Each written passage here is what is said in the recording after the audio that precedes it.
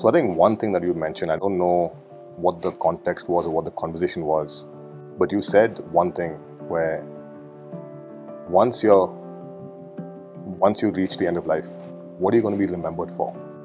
I think that's one of the questions you asked me, and I had no answer initially uh, because I, I think maybe I was too young then, or I, I, I never thought about it. And you actually inspired that part in me, and everything I'm doing today is to somehow have an impact in in, in, a, in any sphere I can. So tomorrow, after my lifetime, I would love to be remembered for that. And if you ask me what it is, I would like to be somebody who's remembered for helping, doing things for others. It's not only about business, about money, it's really a lot more than that. And I think you and the family really inspired that in me. And that was one thing that really stuck to me. And, and, and every day, I, everything I do today that's of importance, that question is always asked in my head. And if it makes that impact after my, my entire lifetime, then it, it would make sense to go ahead and end up doing it.